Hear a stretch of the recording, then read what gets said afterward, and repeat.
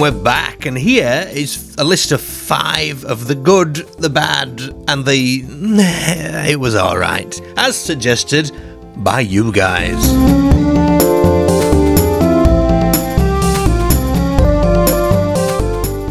Excellent.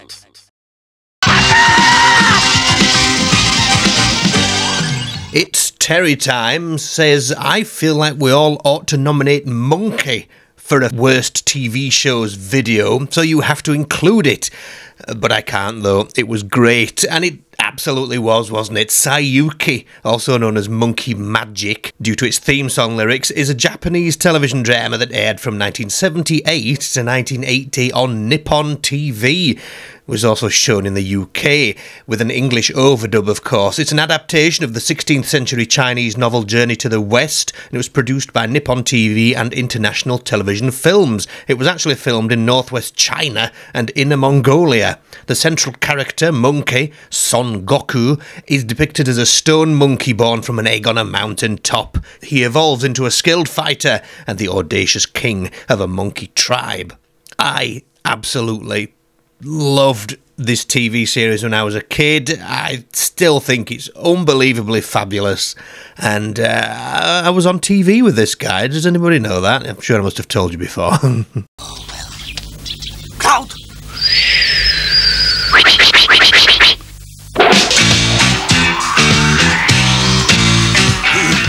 Don't do that! You liar, you idiot! Let's get out of here!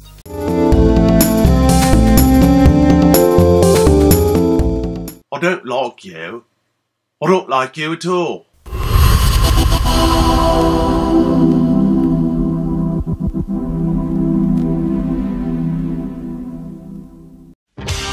Avast, me hearty!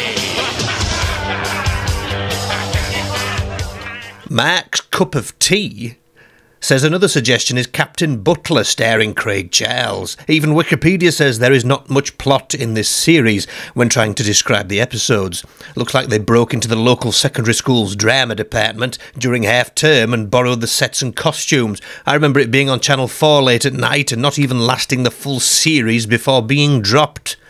Captain Butler was a British sitcom broadcast on Channel 4 in 97. Consisted of six episodes, featured Craig Charles as Butler, the captain of a diverse group of pirates. Set in the 18th century amid the transitional period between the golden age of piracy and the Napoleonic Wars, Captain Butler chronicles the escapades of a ragtag crew of pirates under the leadership of uh, Captain Butler, of course. Despite the historical backdrop, Deliberate anachronisms are introduced, such as the inclusion of figures like Blackbeard and Admiral Horatio Nelson, blurring the temporal setting of the story. Lovely day for seafaring, eh, fellows? Now, which one of you chaps is Captain Butler? I'll give it away, I would. Pleasure to meet you, sir. It's not as easy as that, young lad. Done any sailing before? Can you navigate? Richards, take the helm. Paddle. What are you like on the basics, Rod? I'm all right with the basics, sir. Look, let's just stop farting about, fellas. We'll have three chicken tikka masalas and jug of cold water. So, by my calculations, we should be able to intercept them right here, sir. Right. What about no beard, then? That's the kind of thing, sir. No beard. Well, there you go, then. Thank you very much, sir. Pleasure, lad.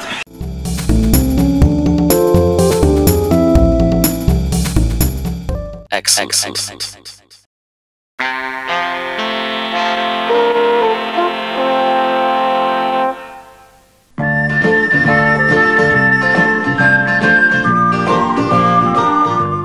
here's another one that somebody liked. Graham Smith, 5768, said Shelley was brilliant. So Shelley's a British sitcom produced by Thames Television and it aired on ITV in two separate runs, initially from July the 12th, 79 to January the 12th, 84, and then from October the 11th, 88 to September the 1st, 92. The series revolves around Dr. James Shelley, portrayed by Hywel Bennett, who starts at 28 years old but ages to 35 by the end of the sixth series as a cynical, chronically unemployed freelance layabout with a doctoral degree. Throughout the show, Bennett's character is accompanied by Belinda Sinclair as Shelley's girlfriend Fran during the original run, and Josephine Tewson as his landlady, Edna Hawkins. He's getting on. Getting on? He's Harold Macmillan's grandfather. Don't they ever retire, Vickers? They let me into his bring and buy Christmas bazaar for free. Was it any good? Nah, load of rubbish. I got your present there, actually. Who's this? Father Christmas, Mrs. Jack. Who do you think it is? Nanook of the North? Hello, Mum. Now, I hope you wouldn't use that kind of language in a barrack room, Ma. Or on board ship, because you defend people.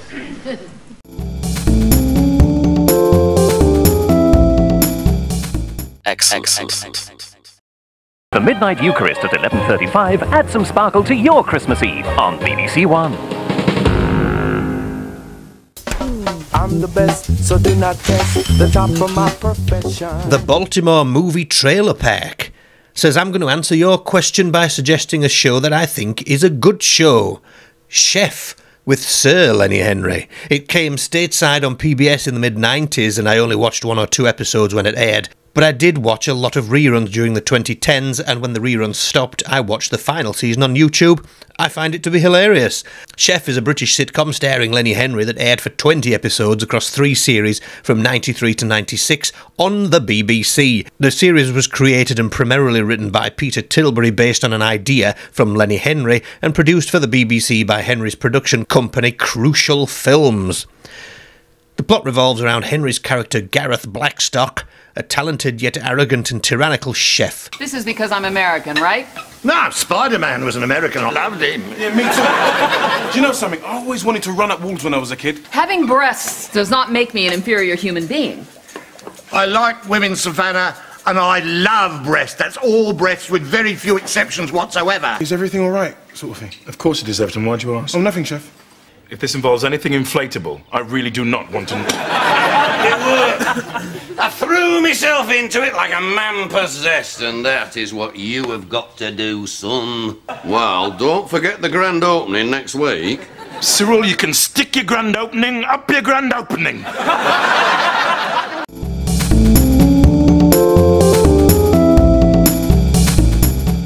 I don't like you. I don't like you at all.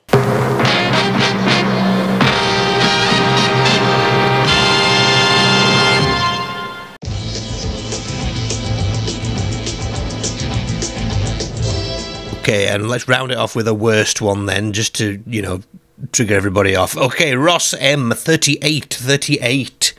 Two days ago, and he edited this as well, so God knows what it said originally, but he says a couple I recommend include Game Shakers, which was a standard Dan Schneider fetishism but on the decline.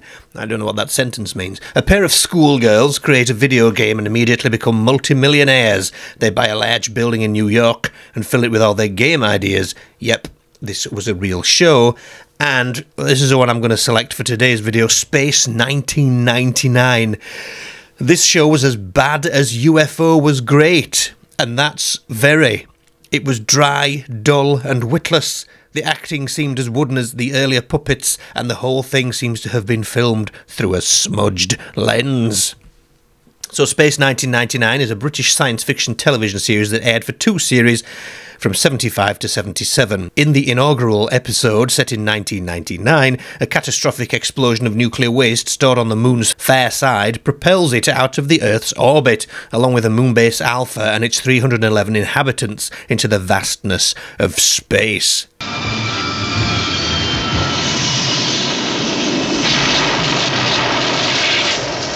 Commander Koenig, while piloting Eagle 10, became suddenly irrational and unresponsive. He crashed in the area of the nuclear waste domes. What risk? If I don't take the risk,